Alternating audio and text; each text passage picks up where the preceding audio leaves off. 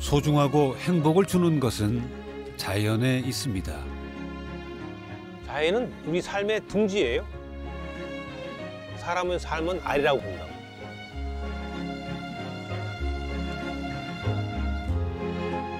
허술하고 바람이 날리고 이게 허접하면 알이 제대로 부화하지도 못하고 하지도 못해. 환경이고 우주고 어떤 삶의 울타리죠. 그렇게 봅니다. 자연이란.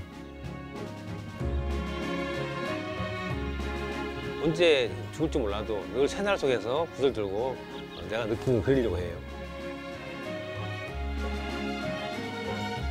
푸르고 무성하던 날들에 미련 두지 않고 자연은 끊임없이 흐릅니다. 세월은 뭐 간다 그게 아니라 세월은 온다는 말을 좀 해요. 내가 살아있고 건강하니까 그래서 지금이 꽃자리지 어제가 아니고 내일이 아니다. 지금이 제일 좋은 자리다. 좋은 때다. 다시 오지 않기에 더욱 찬란한 오늘입니다.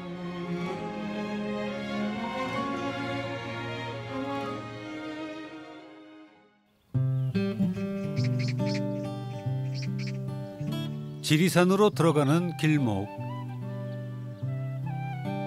휘돌아가는 하천에 안겨 있는 산청 남사마을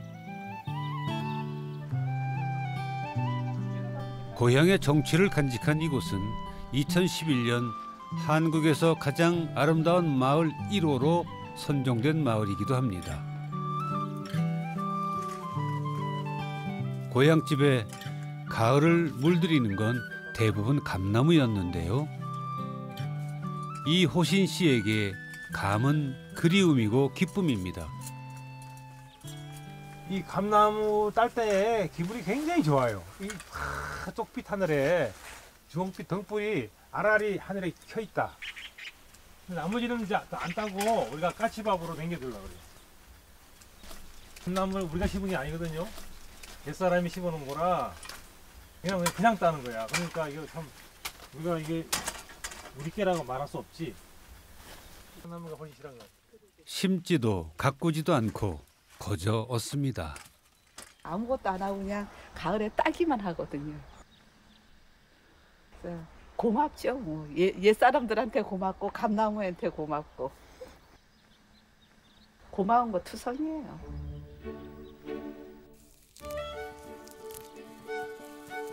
연붉게 물든 감은 홍시가 되기 전 농부에게로 다가가 새로운 변신을 준비합니다.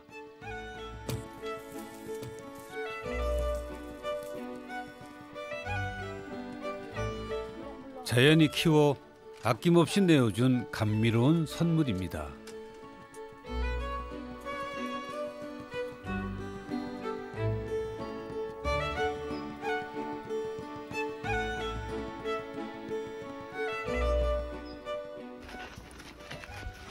이호신 씨는 13년 전 서울 생활을 청산하고 홀로 이곳에 내려왔습니다.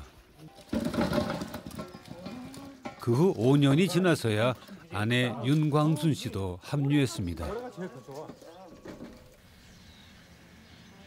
운영하던 미술 교습소를 정리하고 내려와 처음 한동안은 혼자 지구 밖으로 떨어져 나와 있는 것만 같았답니다.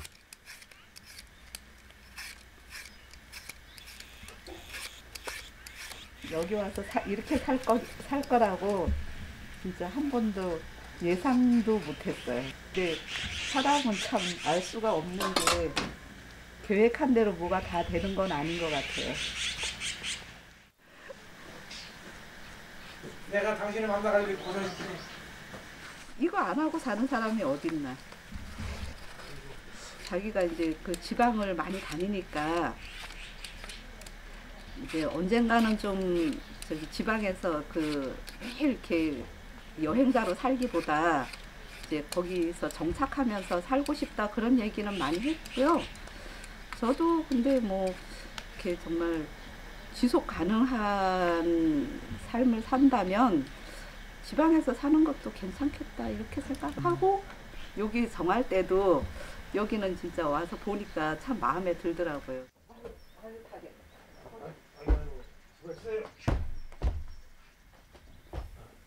이제 자연에서 우리 부부가 더 갇혀진 것 같아요. 넓은 하늘을 보고 또 대나무 숲을 보는데 화가 나면 이상하지 않아요? 그래서 우리가 참 자연을 고마워하는 거야. 나중에 내가 혼자 할 때. 그래서인지 고맙다는 말을 더 자주 주고받게 됐다는군요.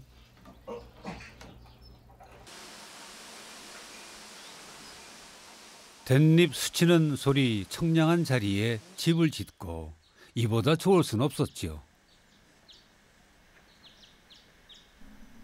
집 이름도 정했습니다. 매일매일 사는 순간이 중요하다 생각이 들어서 그- 그 우리말로 뭐라 할까다 하다가 오늘 어제는 지나간 오늘이고 내일은 다가올 오늘이다. 지금 현재 오늘이 중요하다. 그런 말이 있죠.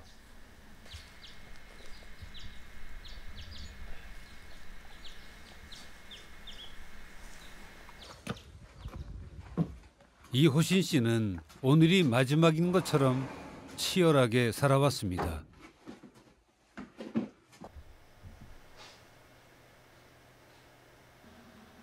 30여 년 동안 산천과 문화유산을 찾아 전국을 누비며 보고 느낀 것들을 화첩에 옮겼습니다.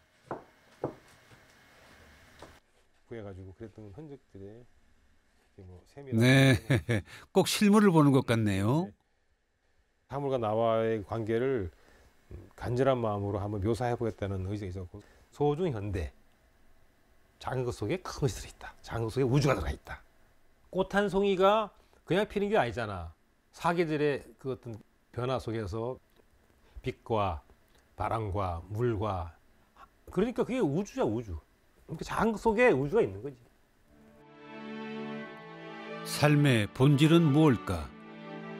어떻게 살아야 할까? 그 궁극적인 질문의 답이 자연에 있다고 여긴 그는 끈질기게 생태를 관찰했습니다. 사물과의 소통과 또 관계를 일단 어, 내가 내 눈으로, 내 마음으로, 내 손끝으로 확인하고 싶었던 과정. 이게 이제 사람마다 다르, 다르겠죠. 저는 이런 과정을 했기 때문에 지금도 다른 그림을 그릴 수 있지 않겠는가.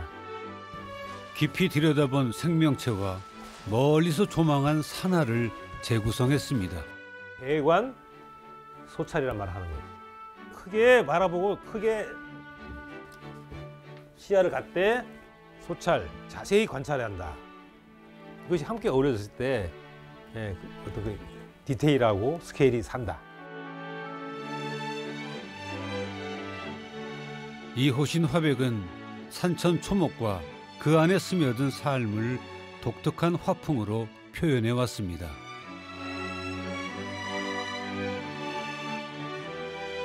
자연을 찾아 묻고 답을 구한 결과물들입니다.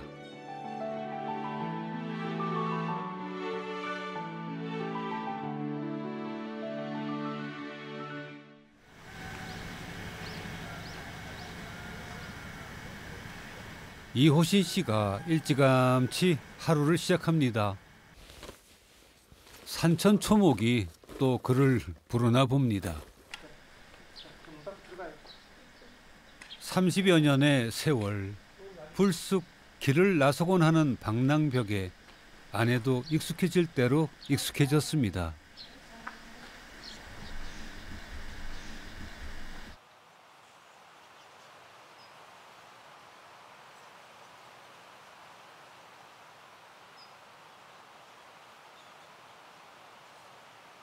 가을빛으로 단장한 지리산 대원사 계곡길.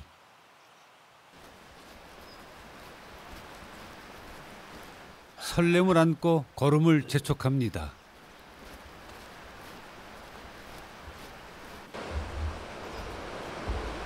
색깔로 소리로 다가오는 이 계절의 자연을 느껴봅니다.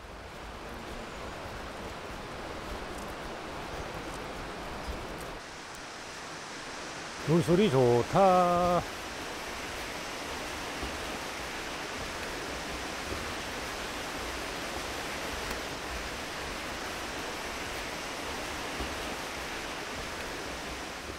아름다운 경치를 보면 흔히 한 폭의 풍경화 같다고들 하지요.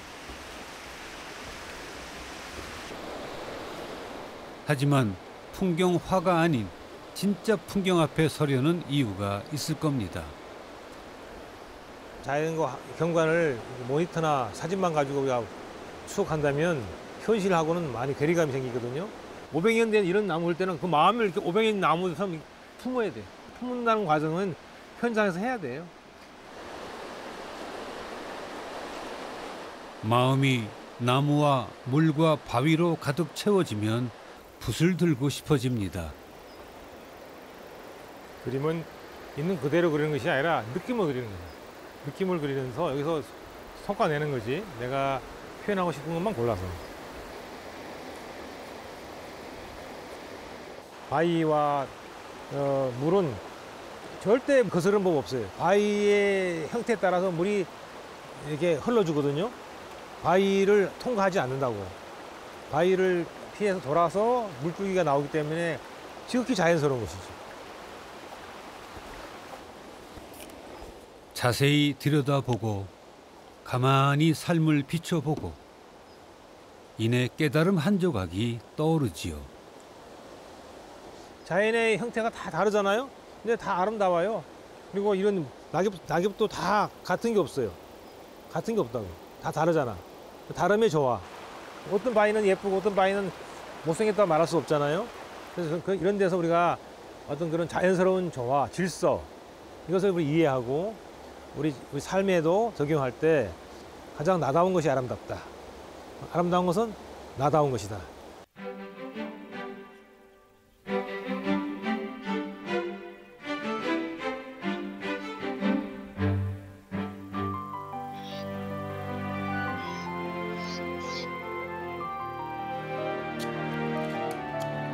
오르막길이 이어집니다. 더 높은 곳에 이르면 또 다른 게 보이겠지요. 산죽이라고도 부르는 조리대가 보이네요. 어떤 깨달음이 화첩을 벽에 맞는 걸까요? 오래된 고사목하고 그다음에 조립되는 뭔가 좀 살아 있는 거고 그다음에 그 뒤에 단풍나무가 좀 치고 있잖아요. 그 모습이 하나의 순환하는 생사의 노래라 할까 그런 주제가 문득 떠오릅니다.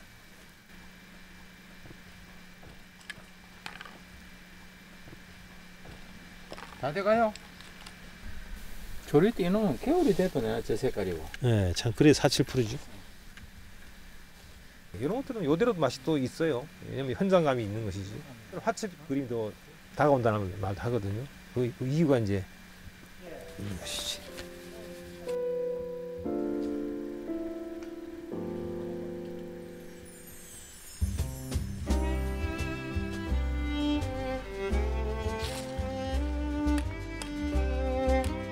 울며 넘는다는 아리랑 고개를 지나 고된 여정이 기다리고 있습니다. 얼어붙은 어두움을 헤치고 법계사를 떠나 천왕봉을 향합니다.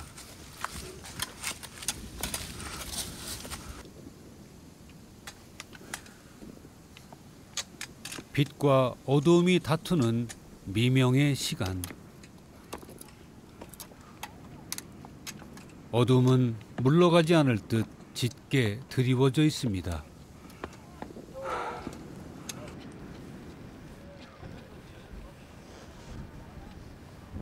하지만 동이 트는 걸 어떻게 막을까요?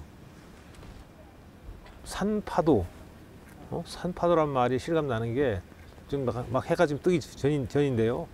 막 물결 치네 지금. 완전히 그냥 파도가 막 몰려오는 것 같은 그런 장엄한 표현은 뭐 여기서 말할 수 없. 어, 아주 정말 그 천하의 절경입니다. 왜 이 지리산이 에, 그 어머니 산이냐? 이 품어주는 이 느른 새가 굉장히 넓고 장엄하고 기상이 확 트이는 뭐 이런 느낌을 받습니다.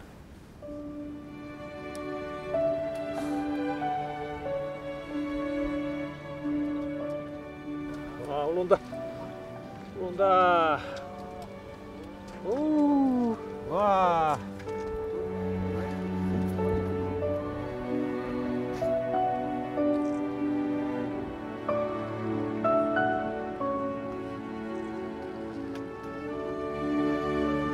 가슴이 뜨거워지는 순간 이 화백도 손이 분주합니다. 이봐 얼어가지고 지금 얼었어 얼었어. 야, 이- 벌써 얼어가지고 지금 부실이 갈라지네 지절로. 뭐든지 해보는 거죠 뭐 해보는 거지.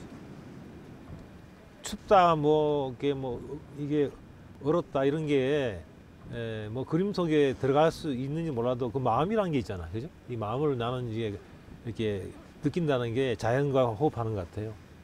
이런 마음을 가지고 이제 이 작은 화첩도 화실에 가서 이제 그 느낌을 크게 그릴 수가 있는 거지. 새날은 어김없이 찾아온다는 불변의 진리를 오늘의 태양이 또 보여줍니다.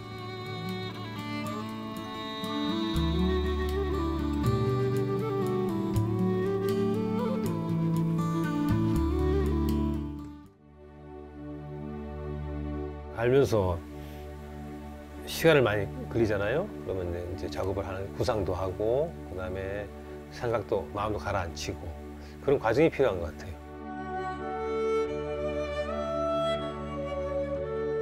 현재 올라가는 과정도 어, 순례의 마음으로 올라갔고 현장에서 또 어떤 조건에서도 그림을 그리고 또 내려와서 바로 그리는 게 아니라 묵히거든요. 그림을 그리기 위한 어떤 공간을 위한 종이의 크기라든지 이런 걸 다 구상하면서 시간이 많이 걸리죠.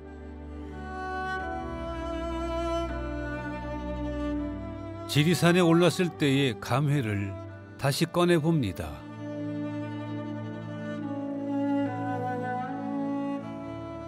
올라갈 때 많이 힘들었잖아요. 바람도 불고 새벽에 그 어둠 속에서 올라갔을 때 그러한 감정이 함께 이게 에, 뭉클하게 가슴에 남아 있는 것이죠.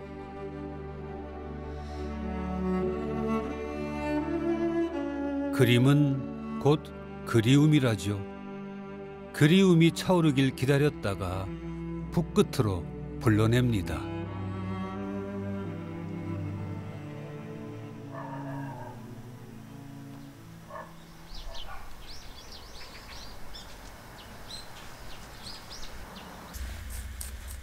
오르고 머무르고 바라보며 흠뻑 느껴본 지리산과 일출. 이번 화첩 순례의 마침표를 찍는 과정입니다. 그 천왕봉에 올라갔을 때 에, 꼭대기에서 우리가 그 장대 무변한 그 파, 파도 치는 그 산물결 그, 그 자체가 벌써 감동을 줬죠. 저희뿐이 아니라 많은 사람이 와서 기다리고 있어요. 해 뜰 때 또 환호성을 지르고 그러한 그 어떤 새로운 날에 새로운 날을 맞이하는 어떤 그런 설레임 또 기쁨 또 나아가서는 그 자연의 위대함 원대함 이런 것을 느끼고 돌아와서야 어, 비로소 어, 그림을 댈수 있겠죠.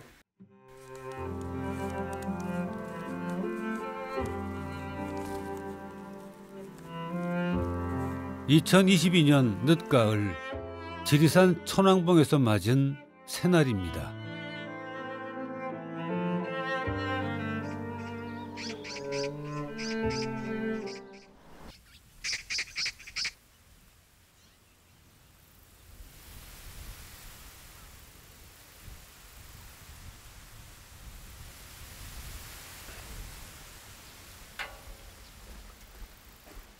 감나무 가지가 다 비었는데 무슨 볼 일이 남았을까요?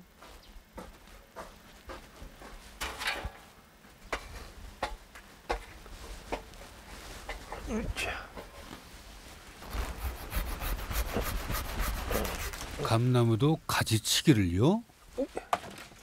감나무 자꾸 잘라줘야지 좋은 거라고 말씀해서 해마다 조금씩 자릅니다. 근데 열매는 감은 더 많이 열려. 희한하게. 응, 응. 잘라, 잘라줄수록. 이상해요. 때론 버려야 더 풍성해지는 법인데 비우고 절제하며 살기가 왜 그리 어려운지요. 더 이상 안 자라잖아요. 그것이 참 저한테는 굉장히 중요한 발견입니다. 그러니까 인간의 욕심은 끝이 없지만 이 자연은 어느 정도 성장을 멈추고 또 다음 해를 기다리는 것. 이렇게 꽉 차 있는 그 감나무와 아, 이 감잎만 이쁜 게 아니라 이렇게 비어 있는 창고의 신필줄 같은 그 원래의 모습을 보여주는 이 나무의 조형도 아름다워요.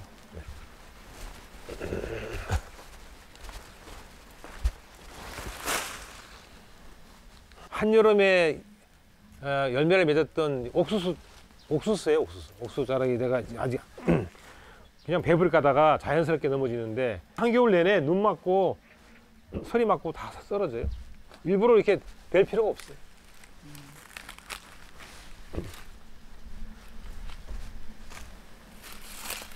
저는 이런 풍경도 어쩌면 존재하는 것과 어? 사라진 것에 대한 응? 그런 어떤 그런 생명에 대한 또 죽음에 대한 관계를 보는 것 이게 우리가 우리 하나의 그 자연의 법칙이 아닌가 그런 생각이 듭니다.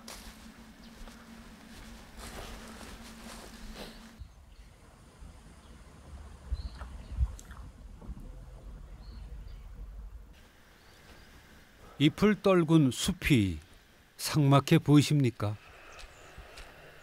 자연의 생각은 다를지 모릅니다. 낙엽 그냥 오지 않았잖아요. 낙엽이 되기까지 봄에 순이 나서 잎이 자라서 인명을 다 보여주다가 녹색을 띄우다가 이제 물들어서 가을에 붉은 또는 뭐 노란 낙엽이 되잖아요. 그 과정을 이렇게 보게 하는 그 상당히 어떤 것도 순리 예, 어떤 그런 자연의 그 순리를 우리가 낙엽을 통해서 확인할 수가 있죠. 낙엽이 낙엽으로 끝나는 게 아니라 다시 나무에 에, 그 뿌리를 덮음을 해서 겨울을 나게 해요. 춥지 않게 하고. 자기가 피운 그 나뭇잎이 다시 떨어져서 자기 무릎을 덮잖아요. 그래서 서로 스스로를 보호하고 그것이 한 겨울을 이겨내고 그 다음에 봄에 다시 잎을 기약하는 낙엽은 뿌리로 돌아간다. 뿌리로 돌아간 낙엽은 이듬해 새순으로 다시 태어나겠지요. 자연은 시들고 떨어지는 걸 서러워하지 않습니다. 끝이 아님을 알기 때문입니다. 죽음을 가지고 죽었다가 아이가 돌아가셨다고 하잖아요. 그럼 자연의 질을 보면 순환한 것처럼 다시 원래의 나의 모습으로 돌아갔다. 그러면 죽음도 억울하지 않고 슬프지 않고 순환이라 생각할 수 있잖아요. 자연의 이치나 사람의 삶이나 어떻게 보면 같다고 보기 때문에 자연이 사람이고 사람이 자연이죠. 끝없는 순환의 길에 종착지가 있을 리 없지요. 자연이 그렇듯이 서두르지도 거스르지도 않고 오늘을 삽니다.